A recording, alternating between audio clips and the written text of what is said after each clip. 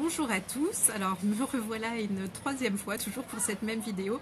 Alors ce matin il y a eu un premier bug euh, bien de ma faute puisque euh, je me suis rendu compte euh, à la fin de la vidéo que je n'avais pas du tout activé l'enregistrement. Donc j'ai fait une belle vidéo d'une dizaine de minutes ce matin pour rien. Et tout à l'heure un essai avorté puisqu'apparemment je n'avais pas assez de, de, réseau et euh, la qualité était mauvaise. Donc je réessaye une, troisième fois. J'espère que ça fonctionnera cette fois. Vous voyez, j'ai vraiment envie de vous parler euh, aujourd'hui. Euh, alors pour ceux qui ne me connaissent pas, je me présente, je suis Agathe Derbin, je suis coach en experte en situation de transition de carrière ou de reconversion professionnelle et je travaille avec des personnes qui sont malheureuses, voire frustrées dans leur travail et qui cherchent à trouver leur voie une bonne fois pour toutes euh, pour euh, vivre du job de leurs rêves et se lever chaque matin avec enthousiasme. Alors euh, aujourd'hui, euh, ce que j'avais envie de partager avec vous, c'était euh, le fait que vous êtes nombreuses et nombreux à me dire que vous êtes mal dans votre travail, que vous aimeriez changer, pourquoi pas envisager une reconversion, mais que vous ne savez pas quoi faire, vous ne savez pas quelle direction prendre, quel métier vous pourriez faire, vous ne savez pas en fait euh, à quoi vous aspirez également. Et donc, euh, ben, ce que j'avais euh, envie de vous dire, c'est déjà, pas d'inquiétude. Moi-même, pendant une dizaine d'années, je savais que j'avais envie de faire autre chose. J'étais pas bien dans mon travail. il y avait plein de choses qui, n'allaient pas dans, le métier que je faisais. Je ne trouvais pas de sens à ma vie professionnelle. Et euh, quand j'ai décidé, justement, euh, quand j'ai eu cette prise de conscience que ça pouvait plus durer ainsi, euh, bah, à ce moment-là, j'avais aucune idée de ce que je pourrais faire par la suite. Donc vraiment, je me suis lancée, je, me suis posée pour réfléchir à tout ça, essayer de, trouver ma, vocation, trouver ma voie, et donc sans avoir aucune idée à ce moment-là de ce que je pouvais bien faire par la suite. Donc si vous êtes dans cette situation aujourd'hui, pas d'inquiétude, euh, vous n'êtes pas bizarre, vous n'êtes pas normal. Ça peut arriver de sentir qu'on n'est pas euh, à sa place dans, son métier euh, sans savoir ce qu'on a réellement envie de faire. Donc justement, ce que j'ai envie de vous partager aujourd'hui, c'est quelques pistes pour justement commencer à réfléchir à ce que, ce que vous pourriez faire dans, le futur. Alors, euh, on lit beaucoup et on entend beaucoup.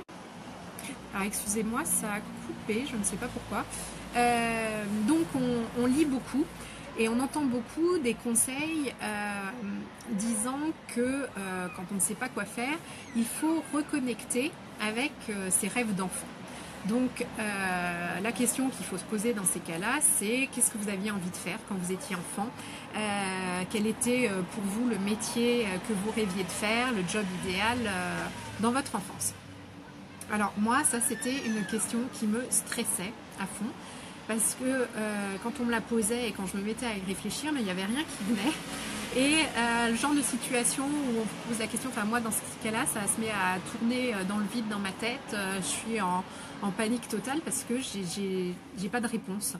Et euh, je me disais à ce moment-là qu'il y avait un problème, que euh, c'était pas normal, euh, que quand on était enfant, obligatoirement on avait envie de faire quelque chose. Alors je ne sais pas si je ne me souviens pas de ce dont j'avais envie quand j'étais enfant, ou si tout simplement j'étais une enfant sans ambition. mais moi je, je n'arrive pas quand je reconnecte avec la petite Agathe, euh, quand elle avait 6 ans, 10 ans, 12 ans, euh, j'avais pas particulièrement un métier qui me venait à l'esprit. Donc si c'est le cas, vous pouvez déculpabiliser. Euh, il y a d'autres moyens de trouver sa vocation. Il n'y a pas besoin d'avoir rêvé d'un métier quand, on était, quand on était enfant. je, suis, je, connais des gens qui, euh, quand ils étaient enfants, avaient envie d'être euh, infirmière, euh, d'être sage-femme, d'être docteur, d'être maîtresse d'école. Enfin, il y a des gens, en effet, qui, quand ils sont enfants, avaient vraiment envie de faire quelque chose. Bah, si si c'est pas le cas pour vous, pas d'inquiétude. ça ne veut pas dire qu'il n'y a pas un métier qui, est fait pour vous. Alors une autre manière justement de, réfléchir à quel métier pourrait vous correspondre, c'est de réfléchir par contre à ce que vous aimiez faire quand vous étiez enfant. De ce que vous faisiez spontanément. Euh, je vais vous donner des exemples, puis après j'irai vraiment plus dans le concret en vous donnant mon exemple, parce que ça aussi, moi, c'était une question qui me, stressait quand on me la posait, parce que je je trouvais pas de métier qui correspondait à ce que j'aimais faire quand j'étais enfant. Parce que, par exemple, il y a des personnes qui, euh, dès l'enfance, euh, adorent écrire. Euh, et par exemple, bah, ça peut être intéressant ensuite de faire un métier qui est lié à l'écriture. Alors, pas obligatoirement écrivain, il y a plein d'autres métiers où vous pouvez utiliser vos, compétences d'écrivain. Moi, quand je repense à ce que j'aimais faire quand j'étais enfant, c'était organiser des spectacles. Euh, avec mon frère, avec euh, les, enfants des amis de mes parents. Euh, donc c'était vraiment quelque chose que j'aimais organiser, faire rire.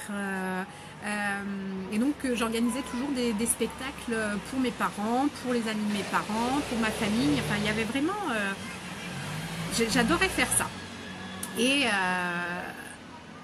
quand je réfléchissais à euh, ce que je pouvais faire euh, de, ces talents, je me disais, enfin, les seules choses que je voyais, c'était euh, bah, pourquoi pas être actrice, faire du théâtre, et c'était des choses qui ne me donnaient pas du tout envie.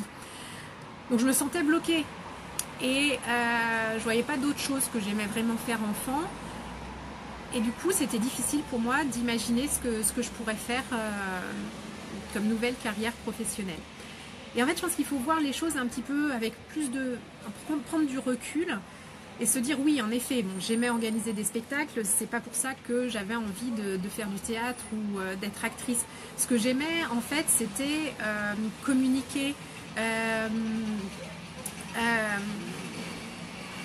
apporter de, la joie, du bonheur, apporter mon humour aux gens qui m'entouraient. En fait, c'est vraiment ça, je pense, qui était euh, l'essence de, ce que j'aimais faire. si vous entendez pleurer, c'est euh, Auguste, mon fils de deux ans, qui ne comprend pas ce que sa maman fait sur le balcon euh, à 18h alors qu'il fait froid. donc voilà, donc c'est vraiment de prendre du recul pour voir comment vous pourriez utiliser ce que vous aimiez faire d'une manière différente. Et moi justement, quand je me suis vraiment posée pour réfléchir à ce que je pourrais faire comme nouveau métier, à un moment donné, je... il y avait vraiment, euh, je me suis rendu compte, le métier de formatrice, en fait, donner des formations, c'est quelque chose qui m'aurait vraiment plu, s'il y avait vraiment justement le fait de communiquer, et puis euh, bah, le fait d'être, de parler face à un auditoire. Euh, on n'est pas dans le spectacle, mais ça rejoint un petit peu justement ce que j'aimais faire enfant. Et par contre, le blocage que j'avais par rapport à la formation, c'est que ayant 14 ans d'expérience commerciale, la crédibilité que je voyais en étant formatrice, ça aurait été dans, le métier, enfin de former des commerciaux. Et euh, justement, je voulais euh, complètement euh, sortir du, commercial, sortir de. J'avais pas du tout envie de former des gens à remplir leurs objectifs, à atteindre leurs chiffres. Enfin, voilà. Donc c'est pour ça que le, métier de formation ne faisait pas sens pour moi. Et c'est quand j'ai découvert en fait le métier de coach et la manière dont on peut l'exercer, parce que chacun, je suis encore euh, flou, je ne sais pas pourquoi. Euh, alors j'essaye de... Hop, bon. Euh, donc la façon, la manière d'exercer le métier de coach, justement, ça peut être beaucoup de, communication, c'est d'apporter de l'aide à des gens, se sentir utile. par exemple, faire des Facebook Live, ça remplit totalement mon, besoin de, communiquer en direct, euh, euh, même avec des gens que je, ne connais pas et qui me suivent. Enfin, voilà, donc c'est ce que je voulais vous dire, c'est entre euh, réfléchir comme je le faisais au tout départ à bah oui, mais ce que j'aimais faire enfant par rapport au théâtre et au cinéma et où ça m'a mené au métier de coach, je pense que euh, c'est la manière dont il faut que vous réfléchissiez, que vous preniez vraiment du recul par rapport à, par rapport à tout ça. Voilà. Euh, écoutez, j'espère que le message que je voulais vous faire passer euh, a été clair. Euh, j'ai envie aussi de vous partager donc depuis mon premier essai raté de, Facebook Live ce matin où j'avais oublié d'enregistrer, je suis allée voir entre temps le film Tous en scène avec mon, fils aîné et ça a été un pur moment de, bonheur. Et euh, ben justement, ça, je me dis bon, j'ai pas pu faire la vidéo ce matin, donc j'en profite pour qu'il y ait quelque chose de supplémentaire. Euh, si vous n'êtes pas allé voir ce film, n'hésitez pas. Euh, c'est pas que pour les enfants. Euh, c'est pas que pour euh, les fans de, musique, de Starak ou de choses comme ça, parce que c'est pas du tout euh, mon style et j'ai adoré le, film. Il y a énormément de, pensées positives, d'optimisme, justement. Énormément de, pensées positives, d'optimisme, de suivre ses passions pour vivre bah, la vie dont on rêve. justement, il y a quelques, j'ai noté quelques, quelques citations. Euh, que je, dont je vous, ferai, je vous partagerai euh, demain. Euh, mais notamment où le, message c'est que ben, quand on a peur de faire quelque chose, quand on a peur de faire quelque chose qu'on aime, et eh ben, il faut se lancer parce qu'une fois qu'on est à faire la chose qu'on aime, eh ben, on oublie totalement nos peurs. Et ça, c'est exactement ce que, ce que je vous disais hier, en fait, de ton envisage une reconversion. Oui, on a des peurs, mais elles disparaissent au moment où on a vraiment trouvé sa vocation, on a trouvé sa passion et on est certain, certaine d'être sur la, bonne voie. Et, euh, et quand on vit de sa passion, ben voilà, ça roule et bien sûr il y a quelques peurs, mais ça n'a rien à voir avec les peurs qu'on avait avant. Voilà, ben écoutez, je vous souhaite une excellente soirée. Euh, j'essaierai euh, de trouver un petit moment demain pour, pour faire un un autre Facebook Live. Euh, j'espère euh, vous avoir apporté quelques pistes et euh, je vous dis à très vite. Bonne soirée.